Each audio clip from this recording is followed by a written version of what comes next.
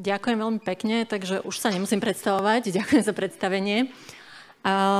To, čo robím, ja som v podstate e, senior UX designer, robím UX design. UX design je úplne v skrátke, ja síce o ňom budem hovoriť aj trošičku máličko detálnejšie, ale je to robenie, poviem to úplne laicky, robenie akýchkoľvek stránok a aplikácií tak, aby sa dali používať. Čiže nielen, aby boli pekné a funkčné, ale aby používateľ akékoľvek stránky spravil to, čo vy na tej stránke chcete. Ja sa teda špecializujem, robím momentálne pre firmu UI42, čo je jedna z dvoch veľkých webových agentúr, ktoré sa špecializujú na user experience a špecializujem sa, respektíve mám úplne že najradšej veľké a ťažké projekty, pri ktorých treba fakt dobre rozmýšľať nad každým jedným elementom, kde je, ako vyzerá, či je na správnom mieste. Proste fakt tie najdôležitejšie, teda najväčšie systémy si vyberám. Z nich nejaké vám ukážem, čo som robila, len pre taký odhad, a teda váš prehľad, nie to, nemá to nič s WordPressom, ale ak ste dostali za posledné tri roky niekto pokutu, dostal tú pokutu niekto za posledné tri roky? Ó, tak poprosím dividendy, že by mi policajti z toho dali. Ale v podstate robila som takýto, to, čo tam vidíte, funguje toto tu? Tento tu tablet od Soitronu, tak vlastne v tom je aplikácia, ktorá vďaka rozpoznávaniu vašej ešpezetky automaticky vie, odkiaľ máte auto, či máte platnú STK, emisnú kontrolu, či auto nemáte náhodou kradnuté, ako má mať farbu. Keď dáte policajtom doklady, tak vás okamžite prelustrujú, preskenujú, či po vás, či náhodou nie ste Chuck Norris a nehľadá vás Interpol alebo iné tieto organizácie. Takže momentálne už to vybavenie u tých policajtov je veľmi rýchle. Ďalší zo systémov je, teda, ktorý má taký väčší zásah, ono je to lepšie vidno asi na týchto menších skrínoch. A inak z UX-ového hľadiska je uh, vzhľadom na tieto tu displeje, tento tu za mnou je veľmi sivý, ani na ňom až tak veľmi vidno nič. Tie sú síce lepšie, ale musíte sedieť bližšie. Čiže ak chcete niečo vidieť, odporúčam vám sanúci bližšie. Ak vám to je jedno a chcete len počúvať, tak kľudne zostaňte sedieť tam, kde ste, je to vaša voľba. Ale teda ja keď som sedela vzadu, tak som videla pred Makovým. Takže uh, tento systém určite poznajú viacerí, ktorí cestujú. Je to online systém pre nákup uh, lístkov na vlak. Je to na stránke Slovak Rail. To bol veľmi diskutovaný projekt, ktorý samozrejme začal ako responsívny. Uh, Kedy si vlastne oni mali nejakú mobilnú aplikáciu, ktorá sa stále ďalej udržiava, ale nemali responsívnu webovú verziu, Mali nejakú verziu, takú tú oranžovo-sivú, takú nejakú, ktorú, na ktorú nadávalo vlastne celé Slovensko. Myslím si, že aj politici to rozoberali, ak si ešte pamätáte, aféru s občianským, ktorý ste museli zadávať. Tak toto je už, chvála Bohu, minulosť. A už... No vidíte, omylom som stlačila niečo, čo som nechcela. A už som zase tam, nevadím. V podstate teraz už si nakúpite tie lístky oveľa lepšie. Samozrejme, že systém má nejaké obmedzenia, ale tie sú vyslovene technické, ktoré teda súvisia s tým, že železnice nemajú až taký dobrý hardware, ako by si zaslúžili, ako by mali mať. Ďalší projekt, tým, že som hovorila, že mám rada ťažké projekty, tak pre mňa má veľký význam robiť projekty, ktoré majú zásah na čo najväčšie množstvo ľudí. Čiže nerobím už nejaké e-shopy alebo teda malé prezentačné stránky. Tento tu projekt vy síce neuvidíte, ale najbližších 10-20 rokov sa s ním budete stretávať denodene. Keď budete chcieť vybaviť niečo na úrade, keď budete dávať daňové priznanie, keď budete prihlasovať auto alebo meniť uh, trvalý pobyt, keď, bude, keď sa vám narodí dieťa, vždy, keď pôjdete niečo vybaviť na úrad, tak uh, všetky tie formuláriky online, ktoré vlastne verejná správa, všetky tie organizácie budú robiť, tak sú robené podľa tohto manuálu, ktorú sme spolu s kooperáciou s tou druhou uh, UX-ovou agentúrou dali dokopy, na to, aby sa nám to všetkým ľahšie používalo. Lebo teda daňové priznanie, ďakujem pekne. No, ďalej ešte, ešte tam mám jeden taký projekt, ktorý vám to ani neukazujem, volá sa MetaIS, čo je metainformačný systém o informačných systémoch verejnej správy to už je už aj pre mňa španielská dedina po tých rokoch veľmi ťažké. Prečo tu ale som? Napriek tomu, že robím tieto ťažké systémy, tak som začala vydávať detské knihy. Tie detské knihy, samozrejme, tým, že ja som UXáčka asi od narodenia a mám to proste v sebe, tak sú robené s takým UXovým princípom a samozrejme potrebovala som na ne e-shop, aby som teda mala nejaký uh, odbyt. A samozrejme teda, neviem, či je to samozrejme, ale moja voľba padla na WordPress, kedy som sa s ním stretla prvýkrát. Z môjho pohľadu ja teda tým, že robím pre webovú agentúru i42, neviem, či poznáte tí, čo majú, máte nejaké e-commerceové projekty, oni majú vlastne vlastný systém Buxus, ktorý je veľmi dobrý, ale na veľké e-shopové systémy, čo začínajúci e-shopper v podstate není. Hej, ja mám tri produkty, teraz ich tam mám možno, že nejakých 20, ešte s nejakými ďalšími vecami. To znamená, že ideálna voľba bola na WordPress. Aj teda tým, že som chcela mať všetky veci pod kontrolou, takže išla som do toho. No, potom vám teda porozprávam, ako sa ja ako UXák a perfekcionista, brutálny, ako som sa popasovala s tým WordPressom a teda kde už sme natrafili na nejaké tie uh, hranice. Nič neslačam. No dobre. Veľmi v skrátke uh, vám chcem povedať, čo je to UX design. Prídete do obchodu. To si viete predstaviť každý. Predstavte si, otvoriť, otvoria nejaké nové potraviny, v ktorých ste nikdy predtým neboli. Vojdete tam, tam, chcete si kúpiť, nemáte až tak veľa času, chcete si kúpiť, ja neviem, cestoviny. Tak čo spravíte? Niekto môže prísť a začne chodiť regál po regáli, až kým netrafí, nenatrafí na tie cestoviny. Hej? Sú ľudia, ktorí prídu do obchodu, rozhliadnú sa, a vidia, oka, tam sú nejaké fláše, tam to nebude, tu sú sladkosti. Tuto niekde by to asi tak mohlo byť, lebo mám skúsenosť, že v iných obchodoch to býva napríklad pri káve, pri múkach a tie bývajú blízko, dajme tomu, chleba, kde sa predáva pečivo a tak ďalej. Čiže idú po nejakých tých svojich skúsenostiach, teda vďaka tomu, idú automaticky, intuitívne na nejaké miesto. Teraz prídete tam, kde ste si mysleli intuitívne, že to bude a cestoviny tam nie sú. Čo môžete spraviť? Teraz si len predstavujte paralelu v online svete, ako by to fungovalo, keď prídete do nejakého e-shopu. Prídete teda tam a cestoviny tam nie sú. Vidíte, že okolo ide nejaký ten shop asistent, tak sa spýtate, prosím vás, kde máte cestoviny? Nikdy sme tu neboli u vás, tak kde to máte? A ona vám povie, taká pani, že choďte rovno, o tri riadky, o tri rády choďte doprava, potom doľava a po desiatich metroch vpravo v regáli to je. OK, a potom ešte za vami kričí, dobre, ale musíte spraviť ešte dva kotrmelce, tri stojky a trikrát poskočiť a budete tam, potom vám to tam dajú. Sú aj také e-commerceové systémy, kde vám naozaj kladú e, prekážky popod nohy a je len na vás, či to chcete absolvovať. Dobre, predstavte si, že dostali ste sa teda už na to miesto, pozeráte, že teda kde v tom regáli by to asi tak mohlo byť. Nikde nič nevidíte, hej, samé veci, tu by to malo byť. Pozrite sa niekde dole a vidíte tam len miesto, že áno, tu by mali byť tie cestoviny, čo ste chceli, ale bohužiaľ momentálne ich nemáme, dodáme ich o týždeň v ideálnom prípade. No môžem vás ísť roztrhnúť. Tam je otázka, že či sa do toho obchodu vôbec ešte vrátite, keď nemajú obyčajné cestoviny.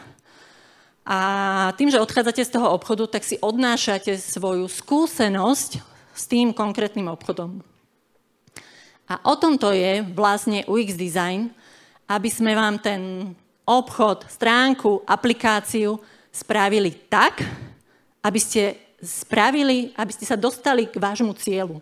Keď prídete na denník N, chcete si niečo prečítať, nejaký článok, niečo, čo vás zaujíma. Je nutné, aby ste sa k tomu dostali relatívne rýchlo a nie, aby ste tam pol hodinu brousovali. To znamená vyhľadávanie a tak ďalej, je tam priorita. Keď prídete do nejakého e-shopu, tam potrebujete rýchlo nakúpiť. Nie, že vám ukážu produkty a nenájdete ani za pána Jana tlačidlo obyčajné, že kúpiť. Aj to sa stáva.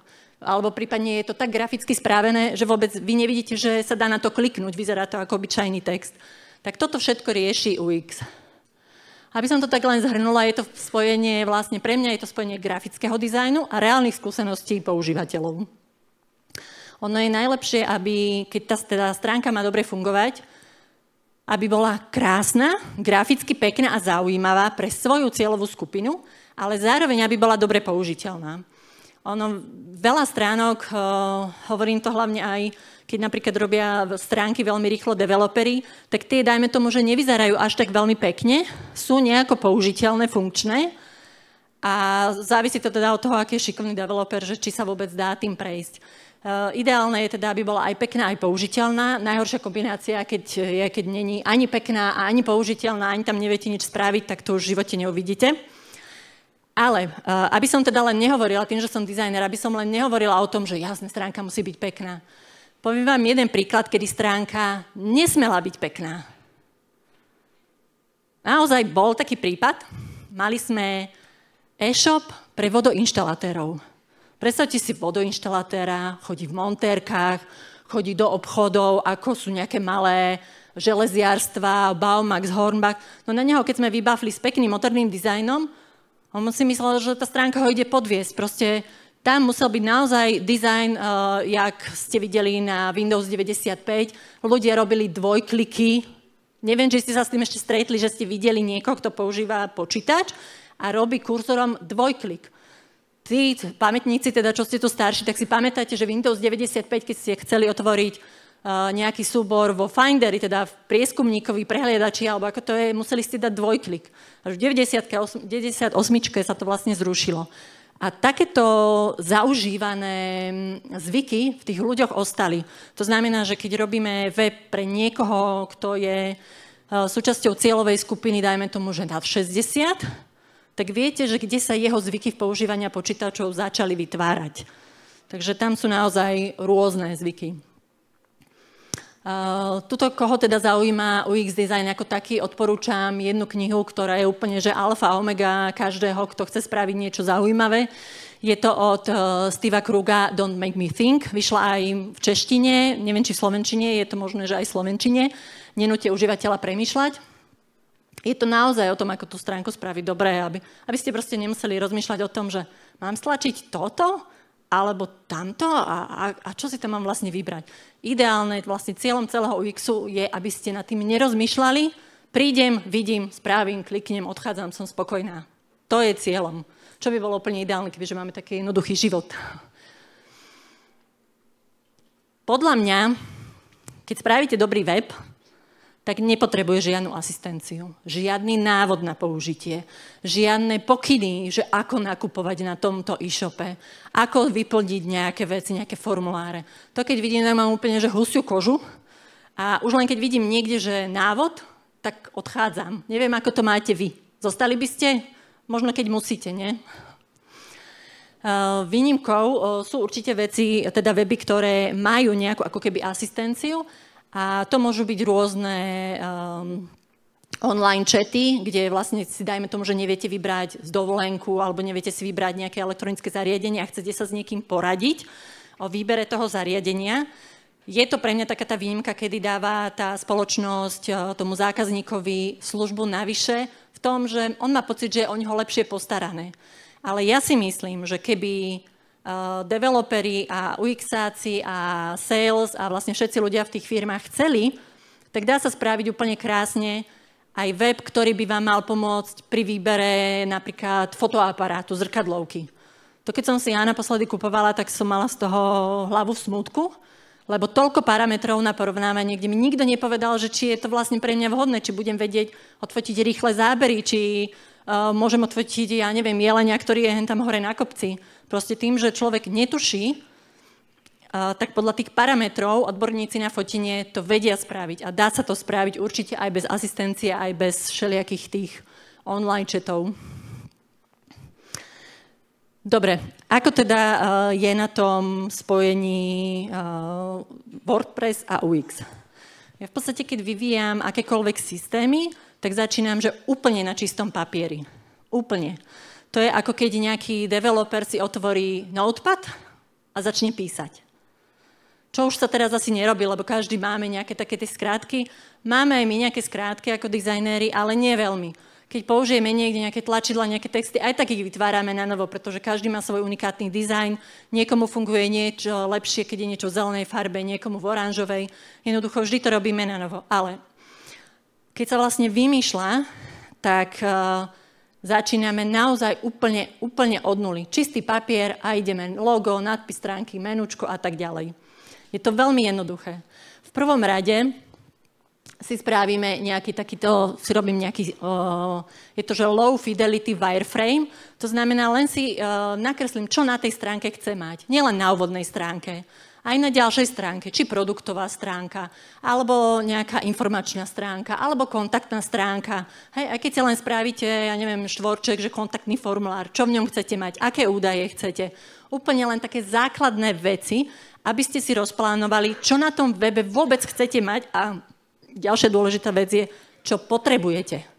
To, čo chcete a to, čo v skutočnosti potrebujete, sú dve odlišné veci.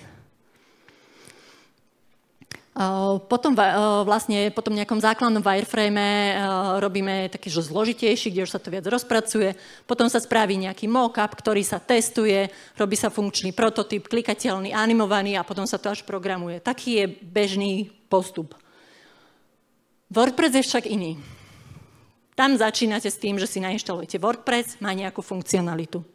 Potom si nainštalujete, nájdete si nejakú šablonu, tá za sebou tiež nesie nejakú funkcionalitu, nejaké elementy, má tam kopec elementov, ktoré možno ani nepotrebujete. Takže ako sa z tohoto fakt, že nezblázniť, lebo čím viac možností máte na výber, týmto rozhodovanie môže byť ťažšie. Neviem, či ste zažili fakt takú situáciu, kedy ste, ste ja napríklad som to zažila pri, zrovna pri tom foťaku, ale hoci kto, ja neviem, eh, chcete si kúpiť auto, má Neskutočne veľa parametrov. Chcete si vybrať hypotéku. Každý má úplne iné podmienky. Je tých bank neskutočne veľa. No ideálne by bolo v normálnom živote, kebyže prídete za niekým a poviete, prosím ťa, poraď mi, ktorá je pre mňa najlepšia banka? Ktoré je pre mňa najlepšie auto? Chcem toto a toto. Kebyže nám tá stránka alebo nejaký človek povie, že toto je pre teba naozaj najlepšie a trafí sa, Bože, okolko by bol svet jednoduchší. Veľmi by som to chcela. Takže um, tým, že všetky tie WordPressové šablony tam majú hrozne veľa vecí, tak e, vy, až keď, keď ich uvidíte, viete, ako to je, že neviem, čo chcem, kým to nedostanem. Teraz vy si nainštalujete nejakú WordPress šablonu a máte tam všelijaké animácie a taká galéria a hen taká galéria a zrazu chcete všetko a stane sa možno niečo, že máte na tom webe niečo, čo si v skutočnosti nepotrebovali alebo nechceli. A môže to byť dokonca kontraproduktívne, že práve u vás na vašej stránke to nebude fungovať. Čo spraviť? Ja odporúčam jednu, jednu jedinú uh, úplnú vec na začiatok. Naozaj si spíšte, čo potrebujete. Čo na tej stránke potrebujete. Uh, Týka sa to, e, toto je konkrétne, keď idete robiť nový web. Uh, neviem, či ste sa stretli s takým tým pojmom, že MVP, Minimum Viable Product, to znamená, chcem vytvoriť stránku, ktorú môžem spustiť hneď. Úplne, že to minimum, čo musí mať. Keď napríklad to bude nejaká prezentačná stránka, tak tam musí byť minimálne o firme, čo ponúkam, kontakt, nemusia tam byť veľké texty. Začiatok, úplne, že začať s niečím a dať to hneď von. Má to tú výhodu, že poprvé je to rýchle, ujasnite si, že čo potrebujete a čo tam naozaj musíte mať a dostanete veľmi rýchlo na to feedback. Žiadny dobrý UX sa nezaobíde bez spätnej väzby od tých návštevníkov a používateľov tej stránky. Potom si spíšte, že čo by tá stránka mala mať v tom takom vašom ideálnom ponímaní že potom tam budete mať, ja neviem, k tomu e-shop, potom tam môžete mať k tomu ešte blog, potom môžete mať, ja neviem, nejaké veci na online stiahnutie a tak ďalej. Tie doplníte následne.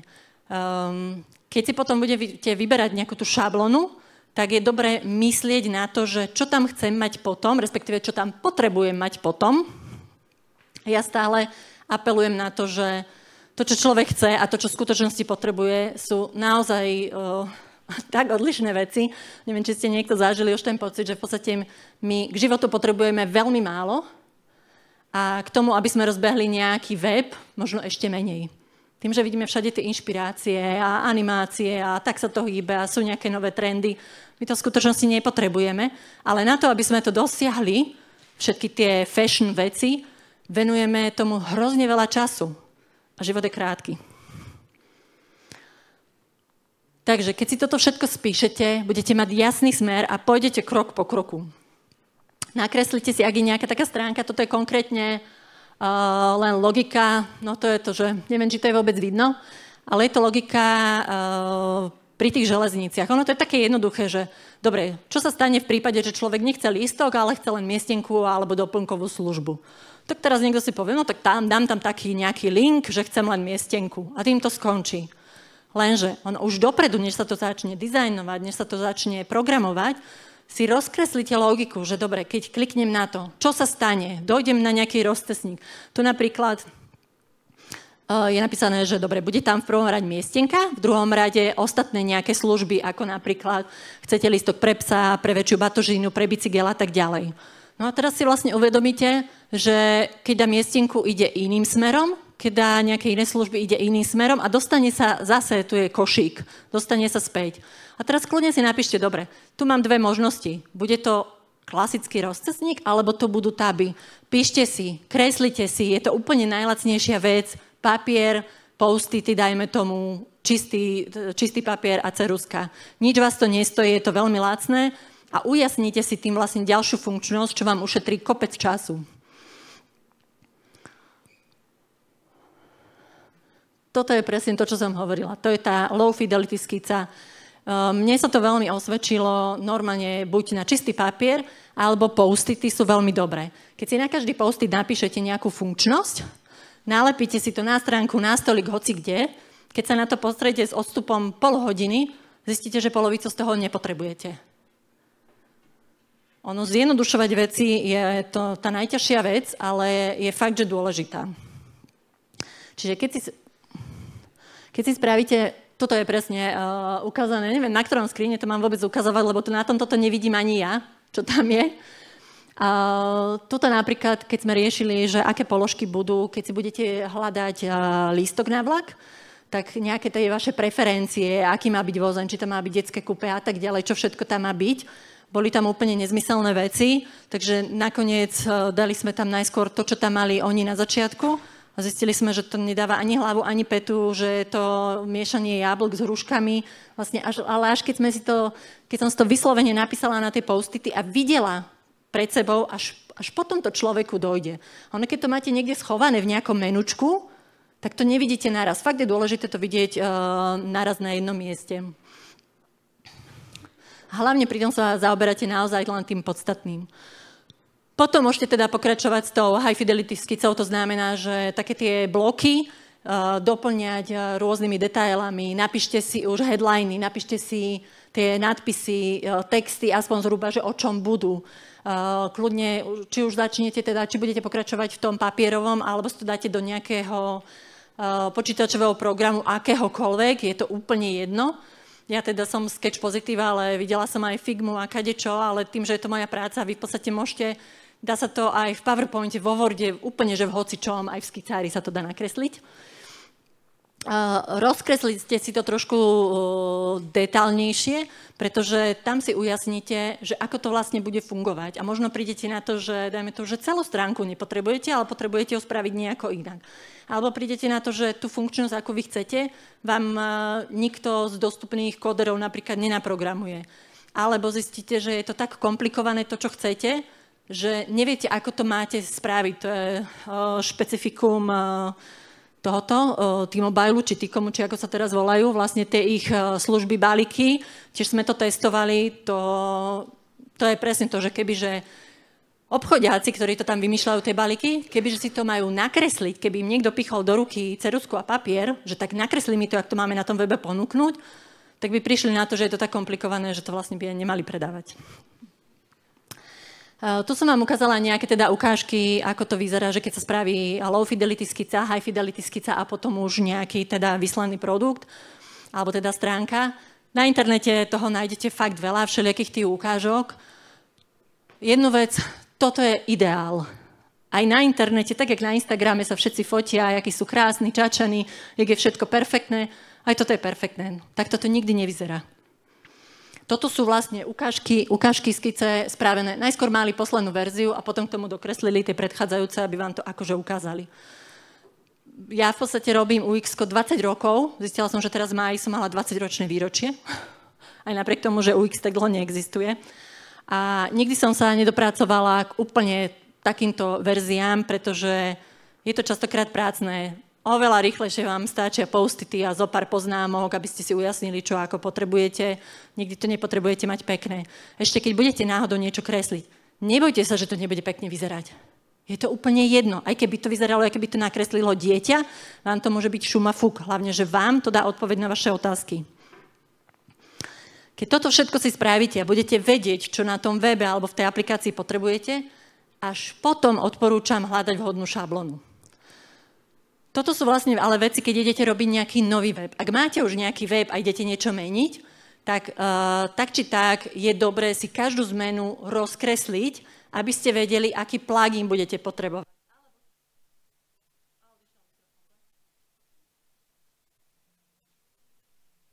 Asi došli baterky, takže skončila som s mojim chodením.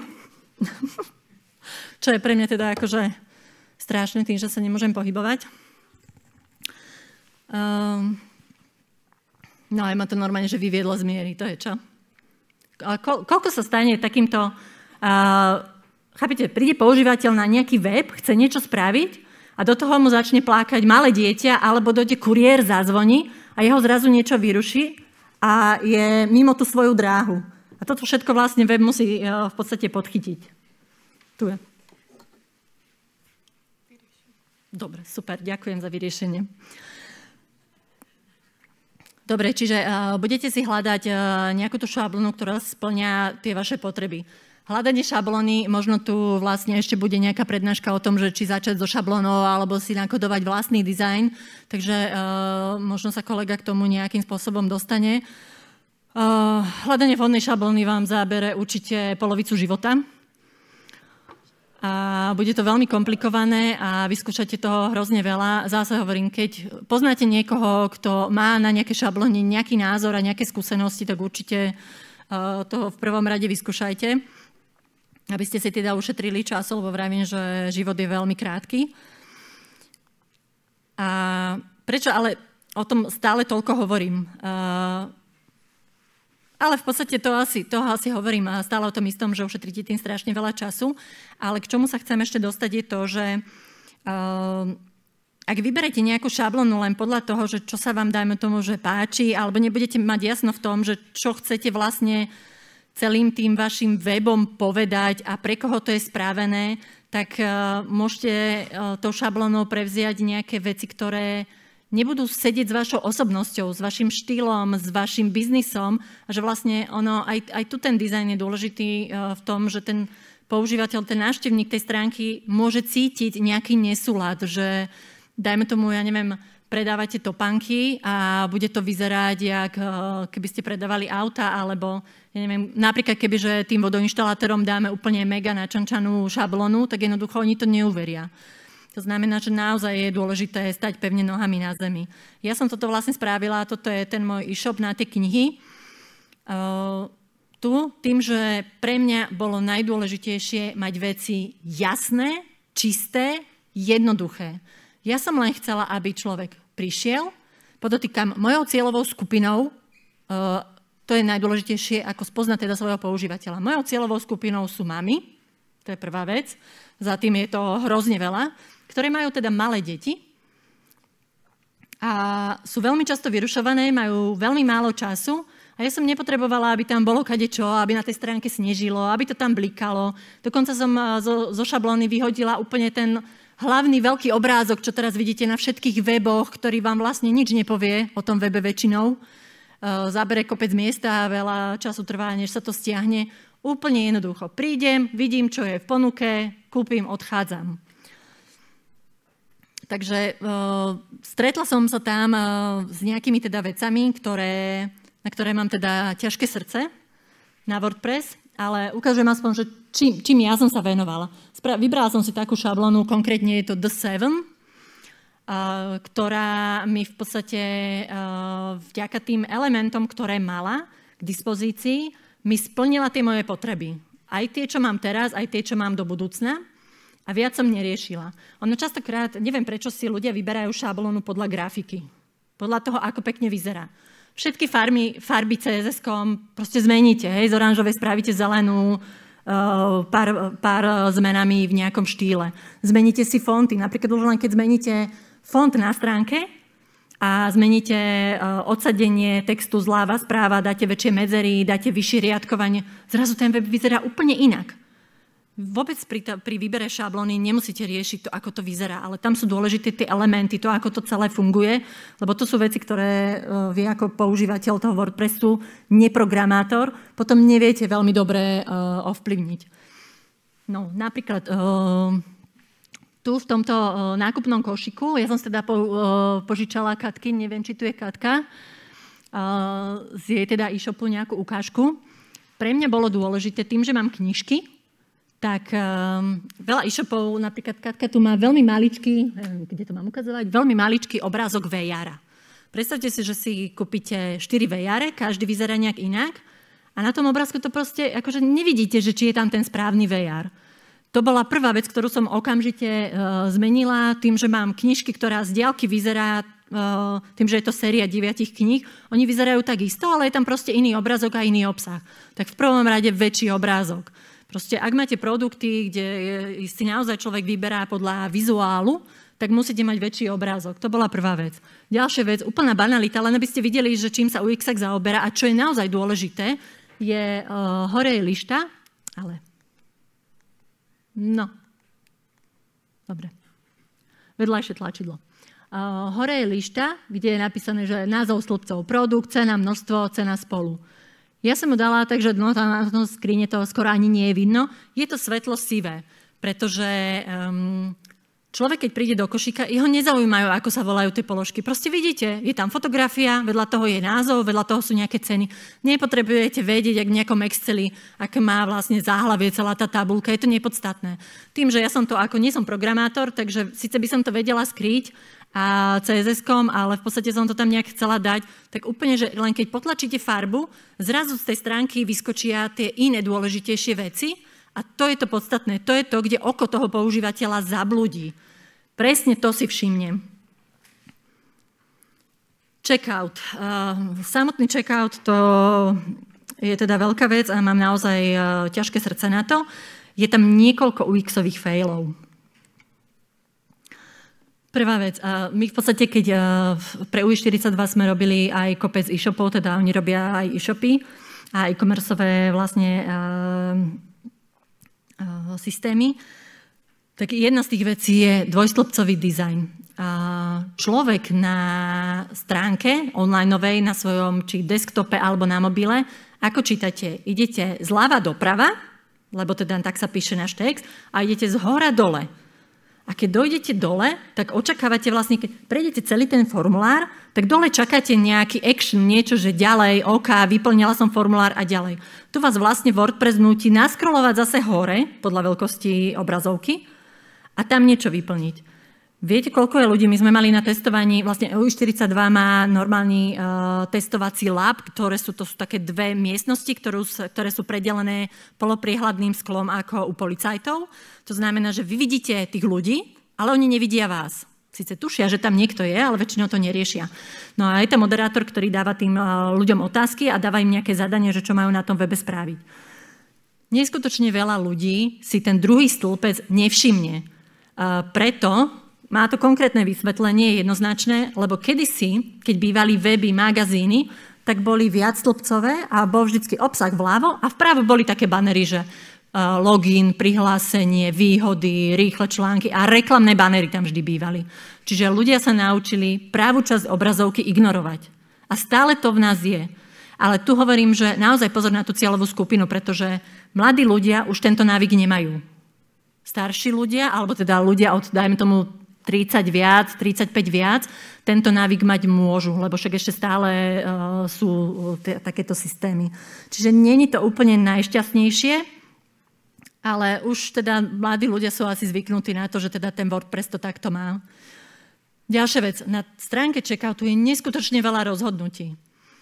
Pri tom vládnom manuáli sme vlastne robili to, že teraz, keď budete vyplňať daňové priznanie, budete, mať, budete dopredu vedieť, čo idete vyplňať, aké doklady k tomu potrebujete, e, čo sa stane, keď to odošlete a hlavne bude vám to sáčkovať tie informácie, ktoré máte vyplniť logických, v logických celkoch na viacerých stránkach. Nebude to jeden formulár, bude viacero častí, čiže už to nebude to, ja každý hovorí, že bože, hlavne, aby ten proces nemal veľa stránok. Nie, tu bude veľa stránok, ale budete presne vedieť, čo ste vyplnili a budete presne vedieť, že ste to vyplnili dobre. A to je podstatnejšie, ako sa preklikať cez viacero stránok. Tu sme napríklad e, stále testovali, čo je lepšie, či trojkrokový checkout, alebo teda nákupný proces, alebo štvorkrokový. Vlastne mm, WordPress má teda väčšinou inklinuje k tomuto trojkrokovému, aj napriek tomu, že sa dá ten štvorkrokový tam vynútiť. E, naozaj ten človek e, v tomto momente, on sa teda rozhodol, že dobre, idem to kúpiť asi, lebo však chce vedieť ešte, aká je cena, lebo až tu dostane cenu za poštovné, prípadne ako môže platiť, tak on sa tu rozhoduje, dobre, fakt to chcem kúpiť? OK, chcem to kúpiť. Tam vidím nejaké, že chcem sa zaregistrovať, budem tu vlastne ešte niekedy nakupovať, to je ďalšia vec.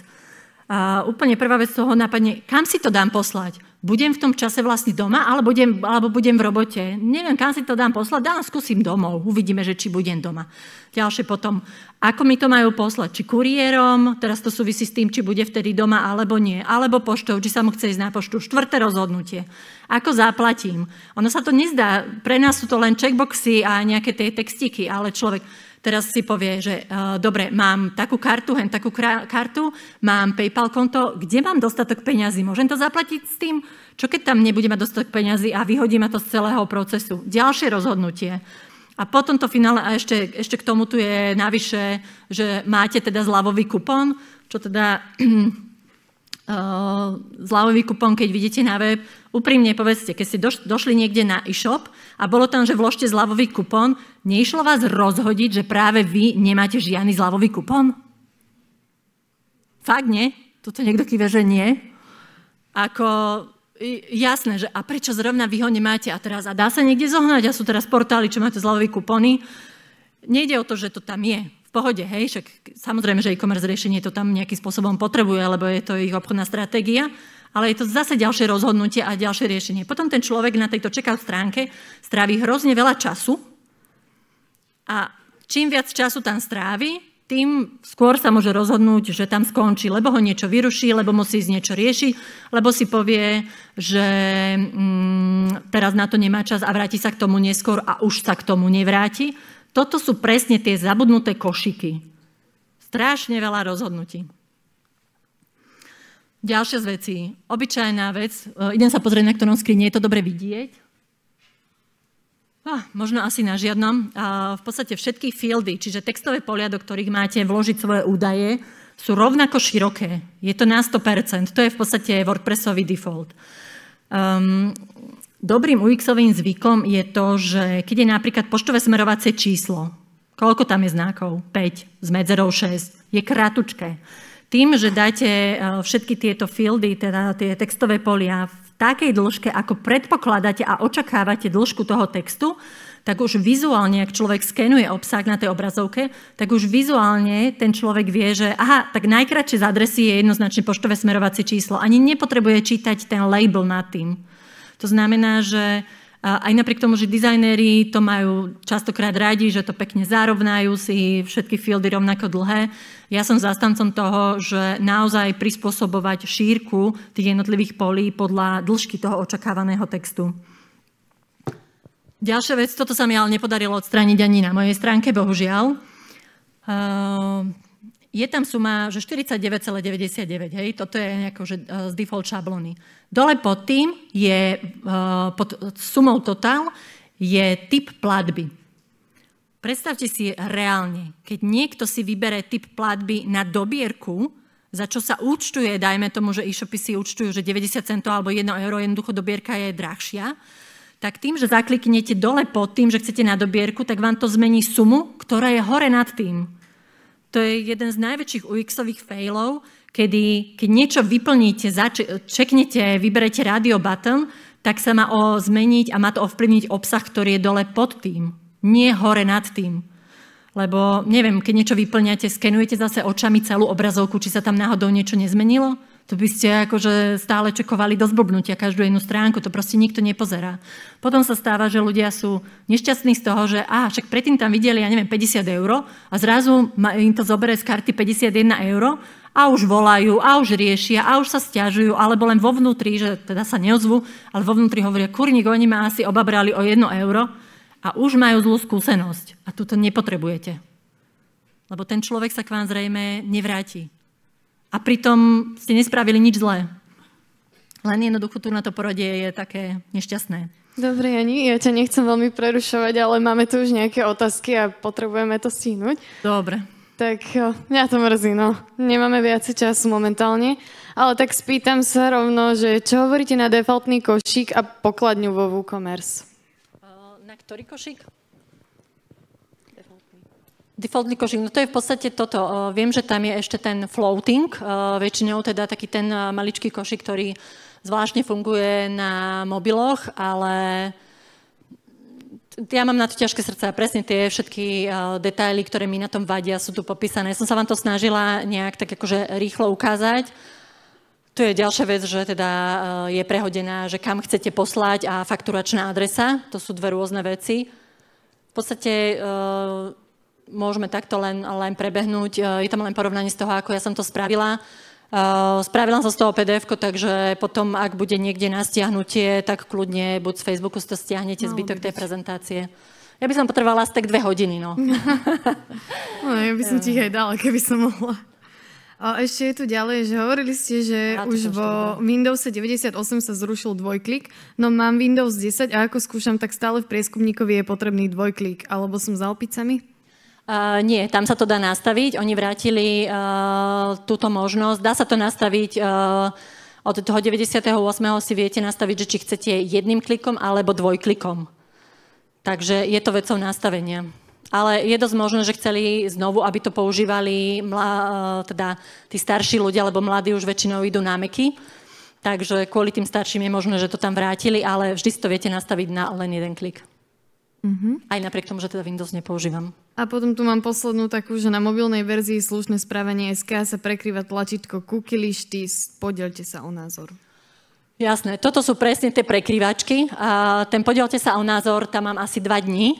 Len som to chcela vyskúšať, je to vlastne z Hotjaru, čo už len poslednú vec, čo poviem, že keď máte vlastne stránku hotovú, sledujte uh, hotjar.com, je to free služba, pomocou ktorej vy si viete nahrávať správanie tých používateľov, kade chodia, klikmapy, ako pohybujú myšou. Je to úplne perfektná vec, keďže vy tých ľudí nevidíte priamo. A oni majú aj takéto, podielte sa o názor. Skúsila som to dať na dva dní, že či to vôbec bude na takej stránke fungovať síce zafungovalo, čiže je to v takej testovacej verzii, ale určite to tam nebude mať. Takisto všetky tie online čety sú presne tak, také tie elementy, kedy sa to tam prekrýva. Treba to vydebagovať určite. Dobre. A nehovorím, že tá stránka je teda nejaká perfektná. Nie som programátor, robila som, čo sa dalo. Dobre, ešte... super. Ďakujeme krásne. Neviem, či chceš ešte niečo? To len zoberiem.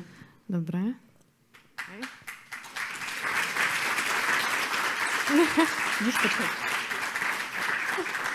Pardon, len posledná vec, toto si naozaj odfoďte. Zjednodušujte už jednoduché. Stále viac a viac.